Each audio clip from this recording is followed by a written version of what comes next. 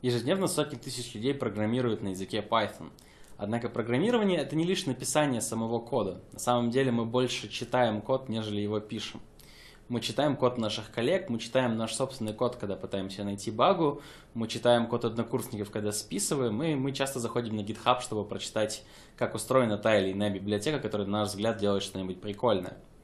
Поэтому очень важно, чтобы внутри нашего сообщества людей, которые разрабатывают на языке Python, код выглядел стилистически одинаково, лишь с одной той целью, чтобы его было проще читать. Основная проблема заключается в том, что если с синтаксисом все более-менее понятно, ты допускаешь синтаксическую ошибку, твоя программа не компилируется, ты исправляешь синтаксическую ошибку.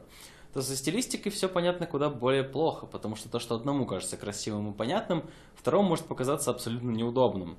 Однако в языке Python существует документ, который содержит в себе стилистические рекомендации по написанию кода на языке Python. Он называется PEP8, PEP сокращенно от Python Enhancement Proposal, или если переводить дословно, предложение по улучшению языка Python.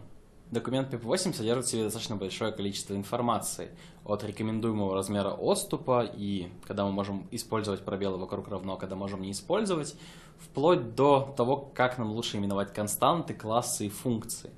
Все это нужно лишь для того, чтобы нам было всем удобно одинаково читать программы на языке Python.